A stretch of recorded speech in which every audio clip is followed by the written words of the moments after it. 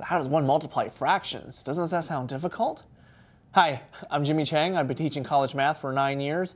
And even though we don't like fractions generally, multiplying fractions is actually one of the most straightforward things overall in math that you can do.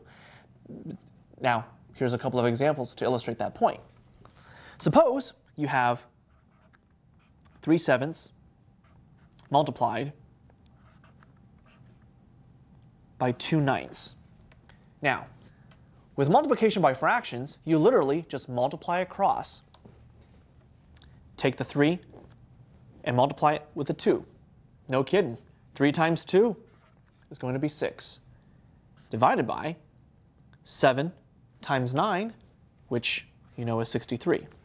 The only thing you may have to consider after you multiply fractions is reduce. Can you reduce 6 over 63?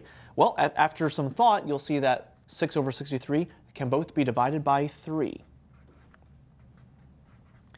As a result, 6 divided by 3 is 2, and 63 divided by 3 is going to give you 21.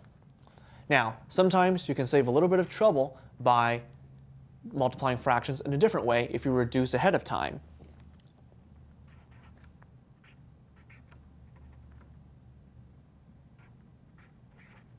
Suppose you're multiplying 3 sevenths by 1 sixth.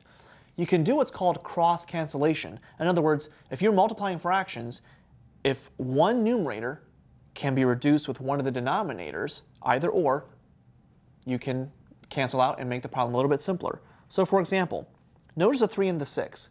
They can both be divided by 3. So we're going to reduce both numbers by 3 right now. 3 divided by 3 is 1.